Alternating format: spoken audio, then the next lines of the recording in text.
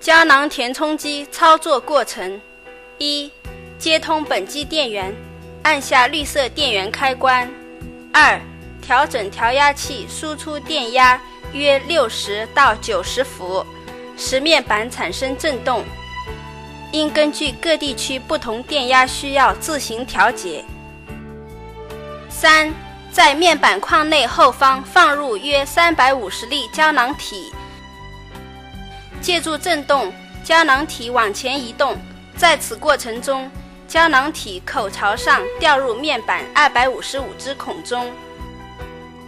踩下脚踏板，将对应转换板插入导轨，然后松开脚踏板，将转换板连同移位板一起推入。此时，面板上的胶囊体落入转换板孔中。之后，仍然双手轻轻顶住转换板和移位板，让它们同时复位。待完全复位，踩下脚踏板，取出转换板，观察转换板孔中有时出现极个别口部朝上的胶囊体，并除去卡在面板上的变形胶囊体。四、重复第三步过程，以相同方法把胶囊帽。装入帽转换板上，完成后调整调压器到零位。五，当充填制剂时，将药粉装入提转换板上的胶囊壳中，并擦去转换板上多余的药粉。六，将套盒板有缺口的一面朝上，没有缺口的一面朝下对准，放到帽转换板上。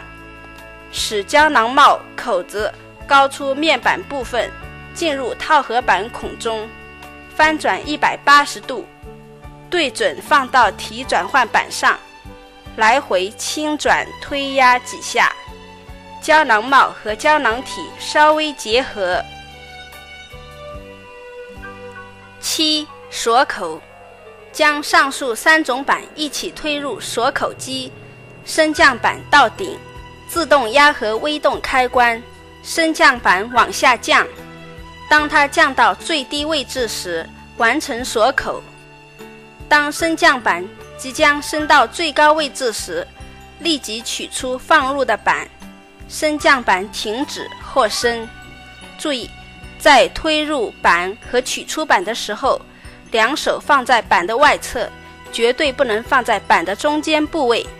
推入板后，立即拿开两手，否则会被升降板压住。